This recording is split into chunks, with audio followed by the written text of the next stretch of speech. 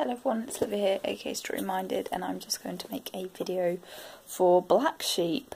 Um, this is the third of my library books that I've literally just finished reading, and oh my god, it was so good. It was so sad.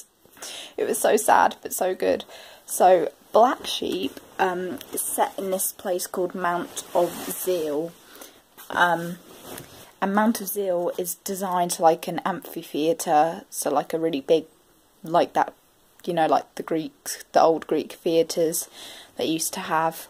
Um, it's designed like that, and each level um, has a different name. So there's lower terrace, there's middle, and then there's upper terrace, which is also known as paradise. Um, so if any of you have ever seen my videos before, you'll know that I love books that have religious elements, and this book is full of them. Um, so metaphorically, you have the lower terrace, which pretty much is hell because that's where the pit is. It's like a mining community. Um, so lower terrace is hell, middle is like purgatory, and upper terrace par- is meant to be paradise. Um, and obviously, they sort of um, also have social social status links as well because the lower you are, the lower class you are, and the middle, you sort of that houses all the sort of clerical people who work at the pits, and then upper paradise. I think they're either retired or they're just um, they're like the managers, the managers of the pits and everything. But um, the story follows this family called the Howker family. I think that's how you pronounce their names. Um, and there's Arthur. Is it Arthur? I've literally just read this book and I'm like having a. No, it's not Arthur. That's one of the brothers. It's John. There's John and Evie, um, who are the parents. Then they have loads of children. They have Arthur, Jimmy, Clive, and Ted. Ted's the youngest, and then they also have a daughter, Rose. Um, the story follows their lives living in Mount Azil, um, and you it's a very traditional setup so you gain the sense that the women the women only have um, their only role in this world is to have babies and to be housewives and look after their husbands and make the bait tins before their sons and husbands and brothers go out like to the pits. Um, and sort of for the women's side of it they that's all they can aspire to really and what I really love about the title is it's so clever because Ted, the youngest, and Rose are very unconventional. So as Ted's growing up, he's surrounded by all this sort of um, Bible scripture, which is really interesting actually because although it's a very religious sort of setup, like in the sense of modesty and everything like that, none of them really in fact, I don't think God's ever really meant, hardly mentioned in this book, and it's almost like it's in the background, but they don't really use it, except for the older generation, like um, Reuben, who is um, John's dad, Ted's grandfather. He sort of, as Ted's growing up, he'll read the Bible to him, and he also has a wife called Alice, who becomes very, very sick, and it's very sad, and I won't spoil what she has, but she ends up dying, and then Reuben moves in with them, so they become like a very claustrophobic close family and um but Rose and Ted are very unconventional. So as Ted's growing up he they leave school at 14 and Ted does not want to go to the pits. He's terrified of ending up in the pits and he just wants a different life for himself.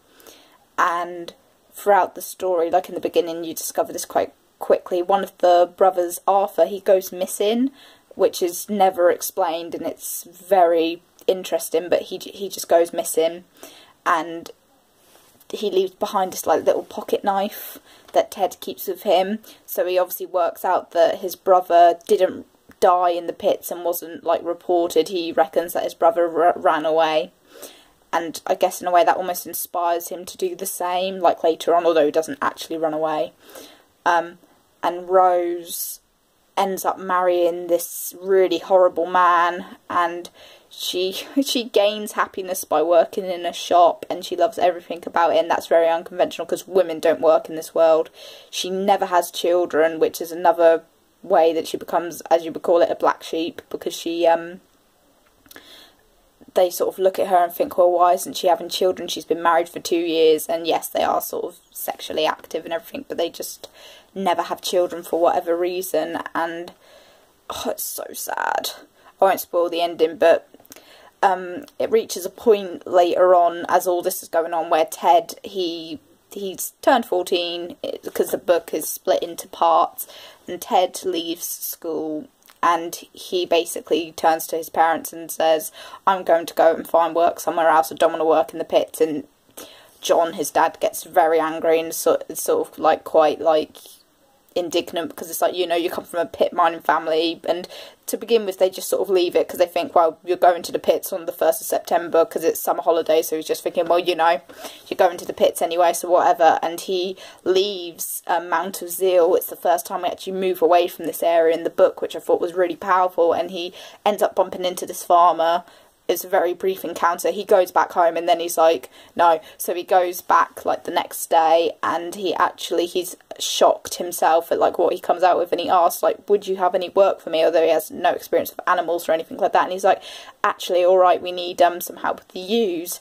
And he ends up working and living on this farm away from his family. And then he returns and it's so sad. His whole family, I guess apart from Rose and although Rose is sort of married and living elsewhere at this point, but they all sort of are really cold towards him and they're sort of turned against him. And then it just everything goes downhill really. It's a very it's a very as you can see it's a very short book but it's so powerful. And it's amazing. There's just oh, there's just such a sense of hopelessness there's like moments of pure hope and then it just like completely tears it apart and I won't spoil how it actually ends or what happens but it's it's a very sad book but I loved it. I just love the atmosphere it creates. It's very monotonous like not the actual writing the writing is brilliant but the um the atmosphere that's created is meant to be very monotonous and like they're stuck in their daily routines and it sort of goes from like I guess a bit of like childhood innocence to the adult world and it's like very unforgiving so like gr- even growing up, Ted, Ted and um, Rose are incredibly different because Rose is very defiant and she has this best friend called Mary and they like smoke cigarettes and they like they gossip and they're sort of like just well Rose doesn't really want to get married she doesn't want to have children because she's seen her mother struggle through it all as well and yeah, it's just and Ted is very like reflective. He's not like a boy's boy, and he looks out of the window and is quite daydreamy. And it's just it's a really good book. I highly recommend it, and I could talk about it for ages, but I think I'm gonna stop there. Anyway, I hope you enjoyed this video, and I need to upload the others that I've done. I just I need to edit them and everything. But anyway, thank you. Bye.